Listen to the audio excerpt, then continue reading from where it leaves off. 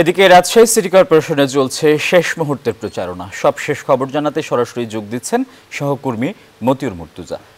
মুর্তুজা, একুশ জুন নির্বাচন, শেষ মুহূর্তের প্রচারণার কি খবর আছে আপনার কাছে?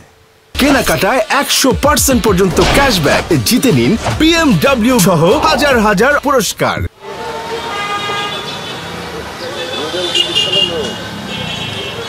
ধন্যবাদ আসিফ টিপু।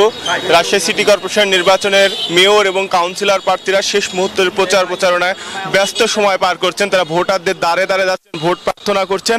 আর নির্বাচন কমিশনারদের রিটার্নিং অফিসার আমাদের জানিয়েছেন যে ভোটের শুরুর আটচল্লিশ আটত্রিশ ঘণ্টা পূর্ব পর্যন্ত প্রার্থীরা প্রচারণা চালাতে পারবেন। তারপরে আর কোনো প্রচারণা চালাতে পারবেন না।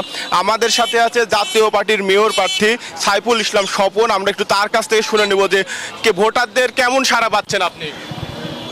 বিসমিল্লাহ রহমান রহিম। আমরা ভোটারদের ভালোই সাড়া পাচ্ছি এবং আমরা তো ঘরে ঘরে দাঁড়ে দাঁড়িয়ে যাচ্ছি মানুষের। খুব সুন্দর পরিবেশও আছে ভোটের।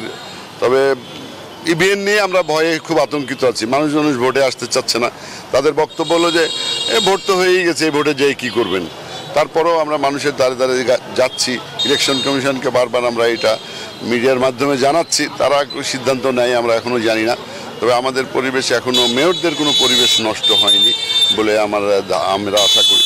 পরবর্তীতে কি হবে জানি না আমরা। আর কি ধন্যবাদ আপনাকে। উনি যেমনটি বলছিলেন যে ওনারা ভোটারদের দাঁড়ে দাঁড়ে যাচ্ছেন এবং ভোটাররা তাদের আহ্বানে সাড়া দিচ্ছেন। রাজশাহী থেকে সিটি নির্বাচনের এই ছিল সর্বশেষ খবর। ফিরে যাচ্ছি স্টুডিওতে।